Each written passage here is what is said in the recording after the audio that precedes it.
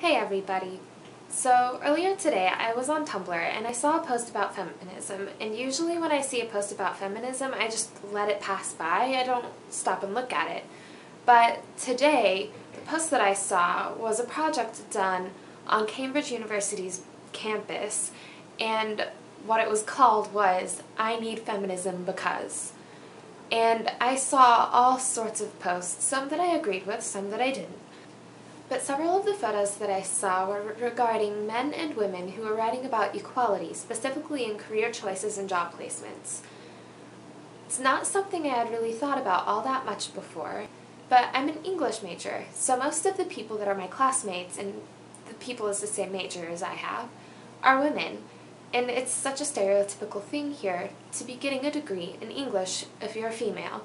But what about the men?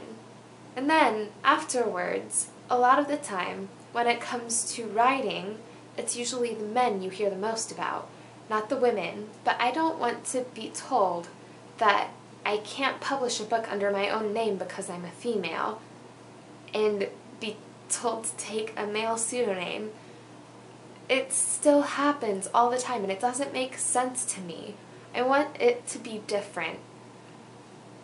And I know that the only re real way that it's going to change is by people like me and my classmates stopping and realizing that this is still a problem and that we can break the stereotypes and we can do great things no matter who we are, male or female, no matter the skin color or where we come from. I want to be able to break the bonds of my hometown, of my gender, and of everything stereotypically expected of me. Because I don't want to be the same as the stereotype. The stereotype honestly seems really boring to me.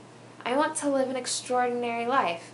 And yeah, that might not mean living my name in the spotlight, but it means doing what I love and helping people see that things can change in this world.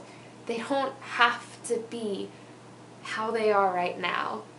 Also, another thing that people are constantly treating me differently because is my health problems. And I know in some cases I do need to be treated differently, otherwise bad things could happen. But overall, when people find out that I have so many health problems, people automatically start treating me like I'll break with the smallest poke. And that's not what will happen. Like, yeah, I need to be careful. Yeah, I can't er, eat certain foods and stuff like that. But I've lived this far, 21 years old. I can survive. I know this is a rather controversial topic, but I would really like to know what your opinions on the matter are and if there are other changes that you would like to see, whether it deals with stereotypes or not, what some of those changes that you would like to see in the world are. Please leave comments and interact with me. I really, really want to know what you guys think. Thank you for watching. I'll see you next week.